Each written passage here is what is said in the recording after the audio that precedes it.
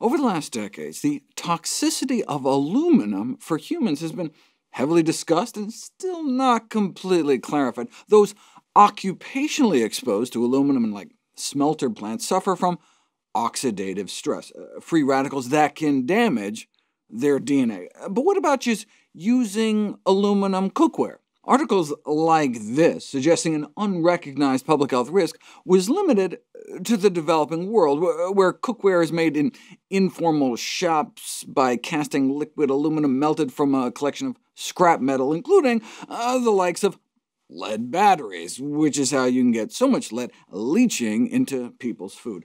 But then this study was published, suggesting the aluminum itself may be harmful. Uh, most of our aluminum exposure comes from processed junk.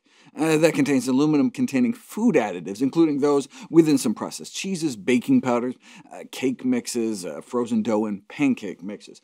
But approximately 20% of the daily intake of aluminum may come from aluminum cooking utensils, such as uh, pans, pots, kettles, and trays.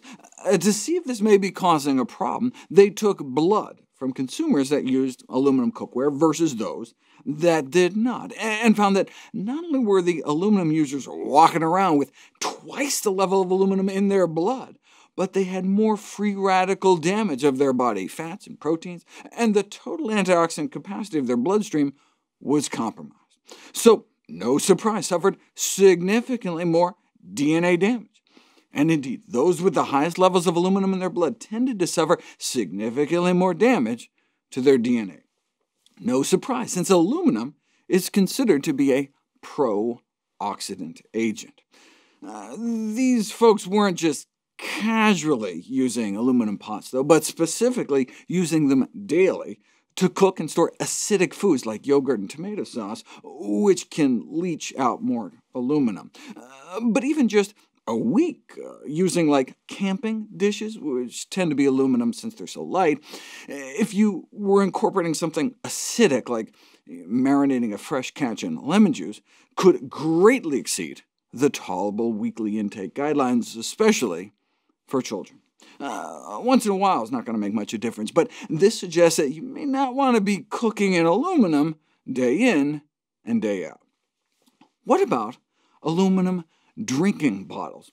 Uh, they're nice and light, but children drinking two cups of tea or juice a day from them could exceed the tolerable aluminum exposure limit. Uh, so out of an abundance of caution, safety authorities like the German Federal Institute for Risk Assessment recommend that consumers avoid the use of aluminum pots or dishes for acidic or salted foodstuffs, such as applesauce, rhubarb, uh, tomato puree, or salt herring to avoid any unnecessary ingestion of aluminum. What about aluminum foil? It's a common culinary practice to wrap food in aluminum foil and bake it. The concern is that this could potentially present a hazardous source of aluminum in the human diet. When put to the test, Yes, there was leakage from the foil to the food, but the amount was so small that it would be more of an issue for, the, for small children or those suffering from diminished kidney function. Uh, what about just wrapping a food in foil to store in the fridge? Only marginal increases in aluminum are seen unless the food is in contact with both the foil and, at the same time, certain other types of metal. For example, stainless steel, which is largely iron, and so that like sets up a battery, and so can lead to tremendous food aluminum concentrations. Uh, for example, here's the aluminum levels in a ham before and after a day covered in foil. But take that same ham and that same day of foil on top of a steel tray or serving plate, and the aluminum levels in the ham shoots up.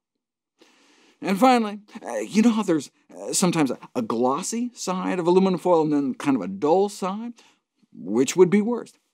Fish fillets were baked and grilled both ways, wrapped in the glossy side versus wrapped in the dull side, and no significant difference was found.